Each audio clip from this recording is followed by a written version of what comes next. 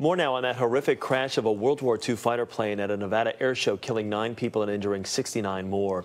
One of the injured was commercial pilot Noah Joraanstad. Now, you can see him running away from the crash as shrapnel tore into his back, narrowly missing his lungs and kidneys. We spot chatted him there for you. He was covered in aviation fuel, which burned his skin.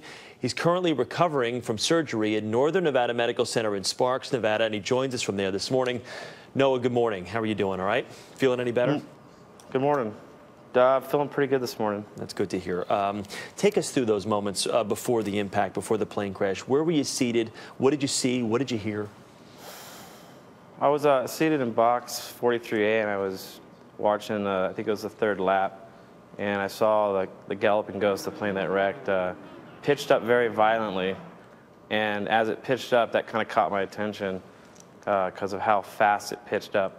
And I, I watched it and when it started rolling over and coming down, I knew something was wrong mechanically with the plane. So uh, I just looked up and saw it coming down, and I thought, all right, well, this is it, but I'm going to give it a shot and run and just hope for the best, and that's what I did. Uh, I mean, what are you thinking at that point? You're a pilot, so you know you could sense uh, that there was something wrong there, like you mentioned. What's going through your mind as you're, you're trying to run away from this thing, which is traveling at 500 miles an hour?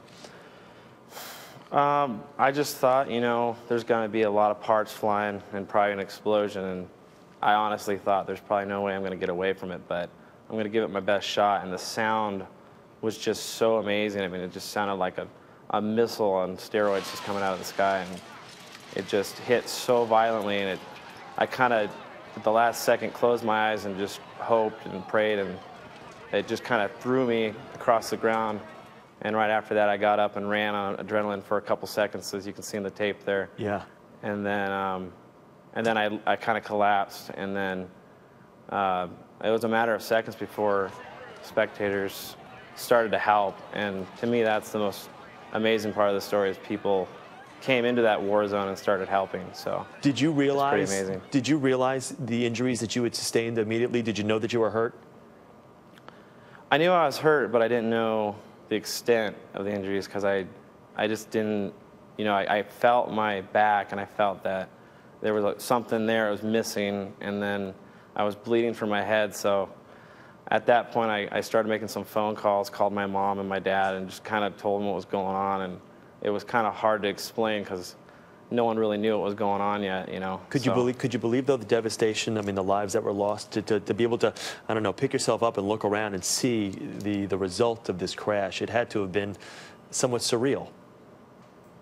Yeah, when I when I got up and looked around, it was just it was just a total war zone, just carnage everywhere, and just just looked like a bomb went off, and it was just really really an ugly scene. You're a pilot. Just one final question for you. Do you think that these air shows need to be curtailed? You constantly hear uh, of incidents like this. It seems to happen too many. One, one time is too many times. But do you think that maybe from a safety standpoint, you need to kind of scale back? They call this the Indy 500 in the sky.